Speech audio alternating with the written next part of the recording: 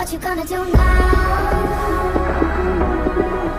It's your reflection looking back to pull you down. So are you gonna die today?